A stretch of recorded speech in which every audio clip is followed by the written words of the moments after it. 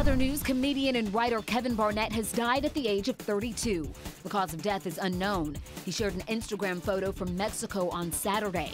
Barnett's writing credits include the 2007 film The Heartbreak Kid and the 2016 film The Do Over. Gwinnett County Police on the lookout for a man accused of driving off with some movie production equipment. Investigators say two men, each in a pickup truck, stole three trailers that contained robotic cranes and other film supplies. Officers already arrested one man, 49 year old Dwayne Williams, but they're still looking for the other suspect.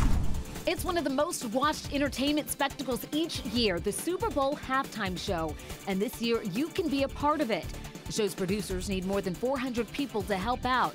But you're going to have to work for it, though. It involves moving stages on and off the field. We have a link to apply on 11alive.com. All right.